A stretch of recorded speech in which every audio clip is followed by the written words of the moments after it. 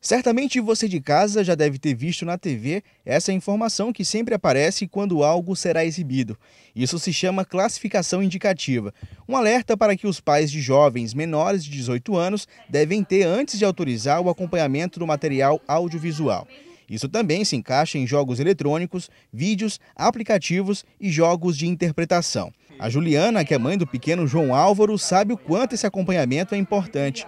Ela nos conta que o João é apaixonado por telas e adora assistir desenhos, além de ser bastante curioso, algo comum para uma criança de 4 anos. Por essa razão, o cuidado com o que ele está buscando nas redes e assistindo na TV é vigiado quase que 24 horas por dia. Eu trabalho junto com ele, né? Porque ele, eu fico em casa e fico olhando o que ele está olhando. Então, é, sempre procuro nessa faixa etária de 4, 5 anos, que é a idade dele. Ele assiste é, TV por assinatura, assiste na internet também e tem acesso ao celular. Alguns jogos eu começo a, a bloquear, a tirar, é, coloco alguns aplicativos dentro do celular dele para estar tá controlando, limpo o histórico também de navegação das coisas que ele acessa quando ele está acessando o computador e procuro também buscar na TV por assinatura programas que sejam na classificação dele.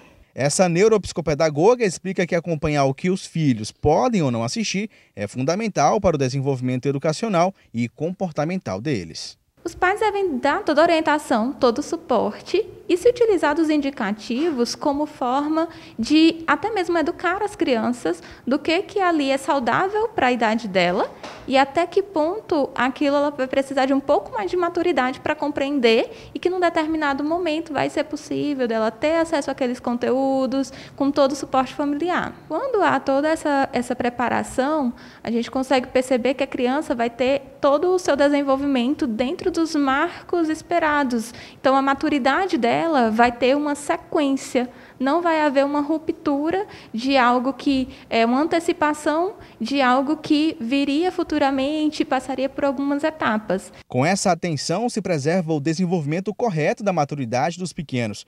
Por isso, o João sabe o que pode e gosta de assistir. Patrulha Canina e Fátima, curtir robôs.